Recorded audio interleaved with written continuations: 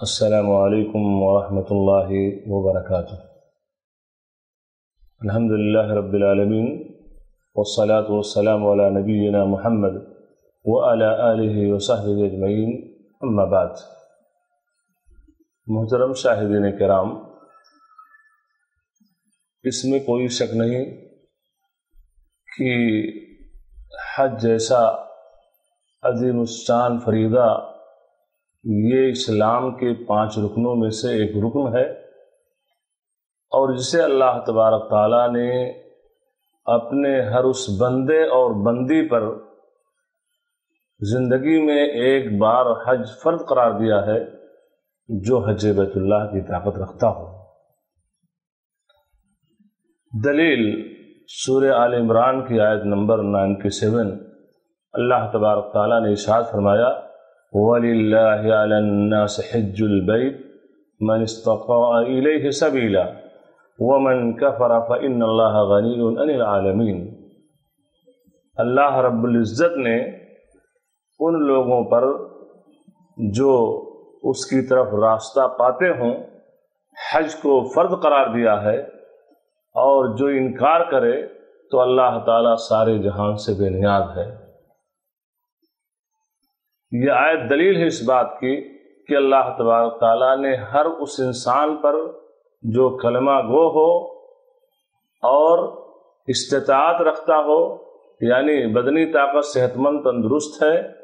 ساتھ ہی ساتھ میں اس کے پاس مال ہے جو سفر کے لیے کافی ہے اور وہ انسان آزاد ہے، سفر کے جو خطرات ہیں، ان خطرات سے وہ معمون ہے ایسی صورت میں ایسے انسان کے اوپر حج فرض ہے۔ اب اگر کوئی انسان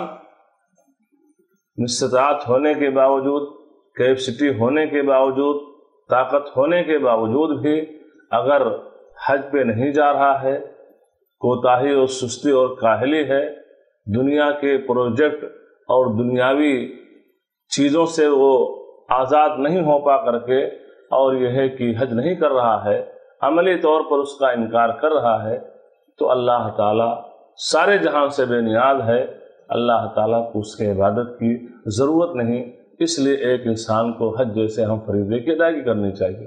اسی طریقے سے وہ صحیح حدیث جس کے راوی ابن عمر رضی اللہ عنہما ہے اللہ کے رسول صلی اللہ علیہ وسلم نے فرمایا کہ بنی الاسلام علی خمس،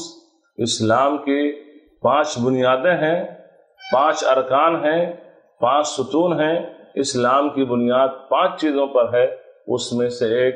حج بیت اللہ بھی کرنا ہے، جو حج بیت اللہ کی طاقت رکھتا ہو۔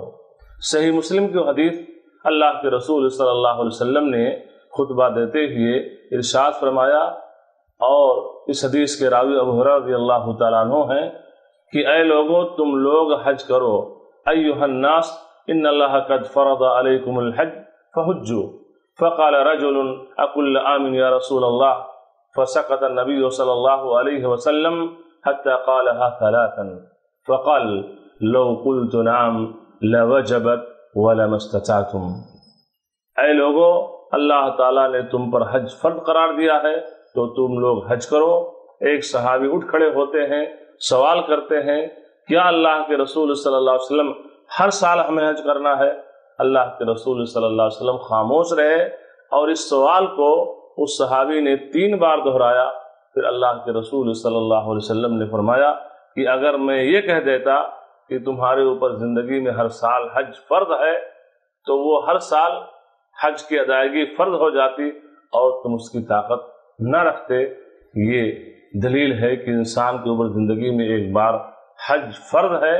اور الحمدللہ، سبحان اللہ نبی کریم صلی اللہ علیہ وسلم کی شفقت اور محبت دیکھیے اپنے امتیوں کے لیے کہ آپ نے خاموشی کا اظہار کیا اور تیسری بار کے بعد میں آپ نے یہ چیز فرمائی، تو ایک انسان کو، ایک بندے مومن کو چاہیے کہ جب اس کے پاس استاعت ہو جائے تو فرید حج کی ادائیگی میں جلدی کرے اور اس کو فوری طور پر اس فریدے کو ادا کر کے اسلام کے پانچویں رکن کی تکمیل کر لے۔ اللہ تعالیٰ سب کے ساتھ یہ معاملہ آسان فرمائے اور حج جیسے اہم فریضے کی ادائیگی میں کسی بھی قسم کی سستی اور کاہلی سے اللہ تبارک تعالیٰ انسان کو بچائے۔ وہ صلی اللہ علیہ نبی محمد و علیہ علیہ وصحب وسلم۔